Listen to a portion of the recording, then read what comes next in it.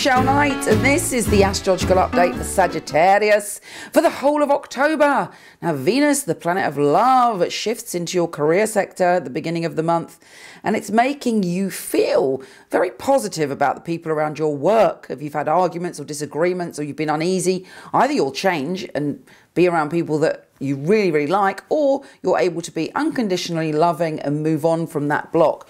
Also, other people are very inspired by you at work and love to be around you, and there should be a general good vibe. Venus wants you to be happy, Venus wants your surroundings to be full of love. There could even be that's me geese agreeing. There could even be a love connection at work or something that happens that fills your heart with unconditional love and joy. Excellent news.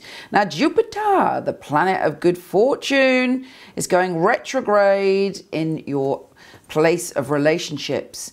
Maybe there's an ex lover that turns up, or maybe you're learning a lesson or thinking back to a past relationship or meeting someone and it clarifies something for you. It allows you to see things differently and free yourself. But Jupiter always wants you to push and expand and grow and look at things differently. But being a Sagittarian, that's a piece of cake for you. That's your nature. Now, Saturn, the Lord of transformation and responsibility through transformation through responsibility, is coming to you and saying, I'm shining a light this year on the, your spirituality and your intuition.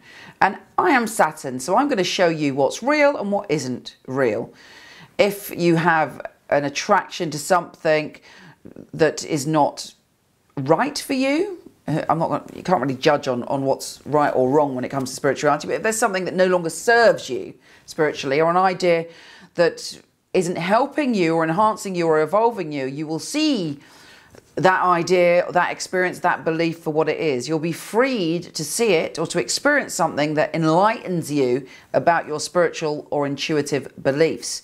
It's also bringing in new ideas and new love of spirituality and intuition. And in fact, if you've been doing something right, you're able to be given a gift from Saturn. Maybe you can lay foundations. You might decide to work in the spiritual field or express yourself in a way that you haven't before, in a more solid and grounded way when it comes to your spirituality.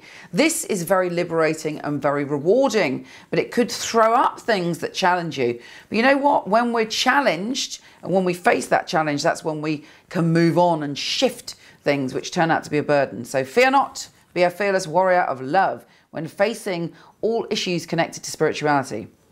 The sun on the 23rd is entering that area, so you are feeling more intuitive, spiritual, and connected than ever before. This month has magic in the air. If it's realistic ma magic, whatever that is, then great rewards and bountiful abundance will surround you. But even if it isn't, you'll be free to find the beliefs that will serve you for the next phase. Take care, and I'll speak to you soon.